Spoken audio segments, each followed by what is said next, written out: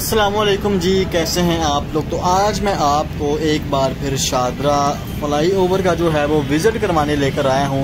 और अभी आप देख सकते हैं कि जो मैं खड़ा हूँ इस वक्त शादरा मोड़ में जो मेन चौक है, इस वक्त मैं वहाँ पे हूँ, जहाँ पे आज से कह लें कि आप सात आठ माह पहले काफ़ी ट्रैफ़िक हुआ करती थी, जहाँ पे जो है पैदल गुजरने का रास्ता भी जो है वो नहीं था मिलता। इतना यहाँ पे यानी कि ट्रैफ़िक हुआ करती थी। अभी आप देख सकते हैं यहाँ पे जो है शादरा फ्लाई ओवर की जो है वो कंस्ट्रक्शन हो रही है। गर्डर्स का काम जो है वो जारी है और आप कह सकते हैं कि जो हमारा शादरा मेन चौक से और जो शादरा रावी के दरमियान जो फासला है, इस साइड पे जो हमारे गर्डर्स का काम है वो आलमोस्ट कंप्लीट है। यहाँ पे गर्डर्स रखे जा चुके हैं और कई मकाम पे आप कह सकते हैं कि छतों का काम भी जारी है कि ऊपर जो कंक्रीट हमारी जो ब्रिज के ऊपर कंक्रीट होनी है। वो हमारी कंक्रीट का काम भी जारी है और आलमोस्ट कह सकते हैं आपके हमारी ये साइड गर्डर से कंप्लीट है और शादरा चौक से उस साइड पे, ज़िला कचहरी वाली साइड पे या कालाश काकू वाली साइड पे आप कह सकते हैं कि उस साइड पे जो है गडर्स का काम वो अभी स्टार्ट नहीं हुआ। एक साइड जो है उसकी गडर्स की आलमोस्ट कंप्लीट है, लेकिन दूसरी साइड पे अभी गडर्स का काम होने वाला है। वहाँ पे काफ़ी ज़्यादा जो है गडर्स का काम रहता है अभी, लेकिन ये साइड जो है हमारी, ये साइड हमारी गडर्स के हवाले से है, मुकम्मल तौर पर कंप्लीट हो चुकी है।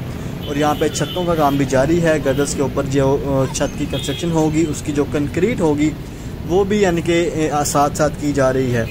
और अभी आप देख सकते हैं यहाँ पे, यानी कि देखने में तो काफ़ी माशाल्लाह से हैंडसम और शानदार लग रहा है। और बाकी जो है गर्दस के काम के बाद इसकी जो है ऊपर कंक्रीट होगी रोड का काम होगा।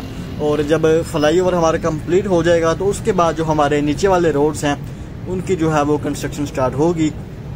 और इसके वाले से मैं आपको बताता चलूँ कि जो हमारा रावी ब्रिज है, वहाँ पे जो है हमारा एक खुली रोड आती थी सामने और आगे जाकर जो है रास्ता वो तंग हो जाता था, लेकिन वहाँ पे भी अब हमारी जो रोड की जो है वो कंस्ट्रक्शन स्टार्ट हो चुकी है। रोड्स को खुला करने के हवाले से वहाँ पे काम हो रहा है और पहली जो रोड है वो वहाँ पे आलमोस्ट आधी रोड तोड़ तोड़ दी गई है और उसके अलावा जो हमारी बकिया रोड है, वहाँ से जो है वो ट्रैफ़िक को रास्ता दिया गया है। अब यानी कि जो रोड तोड़ तोड़ी गई है, वहाँ पे पहले रोड बनेगी, उसके बाद जो बकिया, जहाँ से ट्रैफ़िक को रास्ता दिया गया है, वो भी यानी कि हमारी बाद में तोड़ कर दोबारा बना दी जाएगी, ताकि हमारा जो रोड है, वो यानी कि पीछे से भी सेम आएगा और आगे जाकर हमारा सेम बिल्कुल रावी ब्रिज की तरफ़ जाएगा तो है वो ट्रैफ़िक का जो है वो रश वहाँ से कम हो जाएगा।